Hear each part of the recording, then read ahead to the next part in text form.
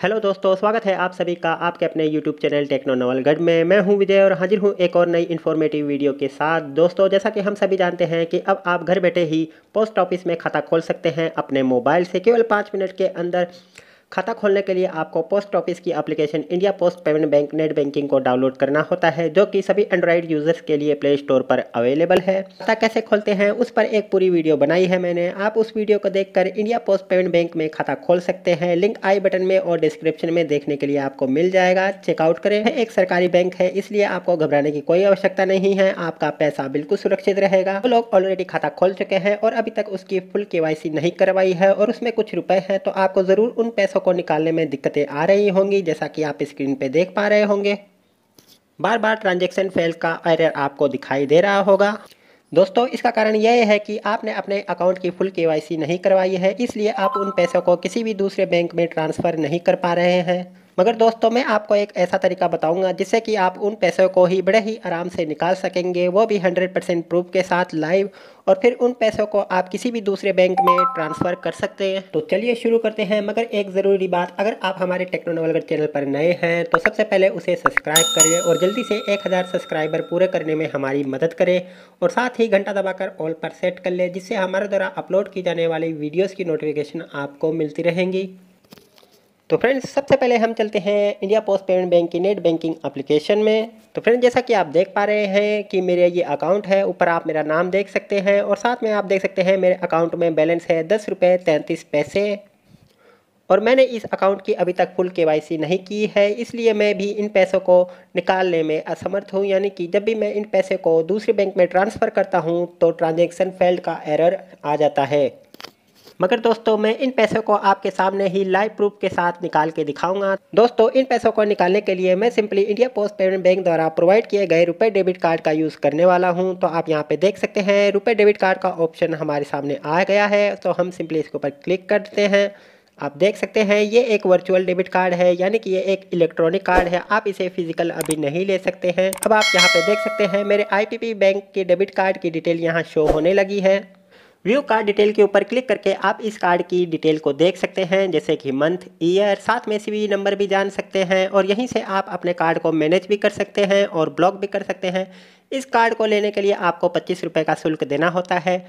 तो फ्रेंड जैसा कि आप देख पा रहे होंगे, मेरे डेबिट कार्ड के ऊपर लिखा हुआ है एक्टिव डेबिट कार्ड तो इसी डेबिट कार्ड की सहायता से मैं उस दस रुपये तैंतीस पैसे को निकालने वाला हूँ। पैसे निकालने के लिए मैं जिस यूपीआई पेमेंट एप्लीकेशन का यूज़ करने वाला हूँ, उसका नाम है फ़ोनपे। इससे पहले मैंने पेटीएम के ऊपर भी एक वीडियो बनाई है। आप आई बटन के ऊपर क्लिक करके देख सकते हैं। साथ में मैंने उसका लिंक भी डिस्क्रिप्शन में दे दिया है, या फिर आप एंड स्क्रीन पे भी देख सकते हैं। तो फ्रेंड्स मैंने अपना फ़ोन पे को ओपन कर लिया है और आप यहाँ पे देख पा रहे होंगे चेक बैंक बैलेंस इसके ऊपर आपको सिंपली क्लिक कर देना है। क्लिक करने के बाद में आप देख सकते हैं फ़ोन पे वॉलेट फ़ोन पे वॉलेट में मेरा आप बैलेंस देख सकते हैं, आठ रुपये हैं। यहीं पर आपको एक ऑप्शन दिखाई दे रहा होगा टॉपअप वॉलेट यहाँ पे हमें सिंपली अपने अमाउंट को एंटर कर देना है तो मैं सिंपली यहाँ पे दस रुपये एंटर कर देता हूँ। और प्रोसीड टू टॉपअप पे क्लिक कर देते हैं। क्लिक करने के बाद में आपके सामने पेमेंट विंडो ओपन हो जाएगी, जहाँ पे आप देख सकते हैं पेमेंट के लिए यूपीआई, डेबिट कार्ड और क्रेडिट कार्ड का यूज़ कर सकते हैं। तो मैं simply India Post Payment Bank द्वारा दिए गए डेबिट कार्ड का यूज़ करने वाला हूँ। तो यहाँ पे आपको उस इंडिया पोस्ट पेमेंट बैंक की कार्ड की डिटेल को फिल कर देना है। चलिए मैं इसे फटाफट फिल कर देता हूँ। एंटर योर कार्ड नंबर में आपको आपके कार्ड का नंबर भर देना है। साथ में मंथ, ईयर और साथ में सी नंबर भी आपको यहाँ पे डाल देना है। डालने के बाद में आपको टॉपअप वॉलेट पर क्लिक कर देना है। तो चलिए मैं इसे एंटर कर देता हूँ। तो फ्रेंड्स मैंने अपने इंडिया पोस्ट पेमेंट बैंक के डेबिट कार्ड की सारी डिटेल को यहाँ पे फिल कर दिया है और अब हम सिंपली टॉपअप वॉलेट पे क्लिक कर देते हैं।